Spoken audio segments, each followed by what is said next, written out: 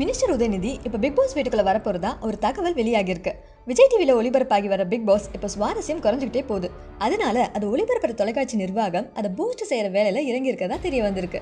அந்த வகையில் உதயநிதி ஸ்டாலினை பிக் பாஸ் வீட்டுக்குள்ளே கொண்டு வர முயற்சி நடப்பதா தகவல் வெளியாகியிருக்கு கமலும் உதயநிதியும் நல்ல நண்பர்களாக இப்போ மாறி இருக்காங்க. கமலின் நட்பு அழைப்புக்கு உதயநிதி ஸ்டாலின் மறுப்பு தெரிவிக்க மாட்டாருங்கிறதால இந்த நிகழ்வு நடப்பதற்கு அதிகம் வாய்ப்பு இருப்பதாக கூறப்படுது. அதே போல பிக் பாஸ் நிகழ்ச்சியின் போட்டியாளர்கள் ஒருவரான அசீம் சமீபத்தில் தமிழக விளையாட்டு அமைச்சராக பதவியேற்றுக்கொண்ட Chepauk MLA Udhayanidhi Stalin Bigg Boss வீட்டுக்குள்ள நுழைவார்னு எதிர்பார்க்கறேன்னு ஃப்ரீ டாஸ்கின் அப்போ சொல்லியிருக்காரு. பிக் பாஸ்ல ஃப்ரீ டாஸ்க் நிகழ்ச்சி இப்ப போயிட்டு இருக்கு இந்த டாஸ்க்ல குடும்ப உறுப்பினர்கள் வீட்டுக்குள்ள நுழையும் போது போட்டியாளர்கள் அசையாம நிக்கணும். இதுவரை மைனாவின் கணவர் சிவனின் நண்பர்கள் அமுதவாணன் குடும்பத்தினர் மணி மற்றும் ரச்சிதா குடும்பத்தினர் வீட்டுக்குள்ள நுழைந்து போட்டியாளர்களை ஆச்சரியப்படுத்தினாங்க. இந்நிலையில சர்ச்சைக்குரிய போட்டியாளர்களில் ஒருவரான அசீம் இந்த டாஸ்க்ல எதிர்பாராத ஒரு கருத்தை தெரிவித்திருக்காரு. அதாவது எம்எல்ஏவும் அமைச்சருமான உதயநிதி ஸ்டாலின் பிக் பாஸ் வீட்டுக்கு வருவார்னு அவர் சொன்னதா கூறப்படுது. இது தொடர்பா நெட்டிசன்களும் பல்வேறு கருத்து கருத்துக்களை தெரிவித்து வராங்க.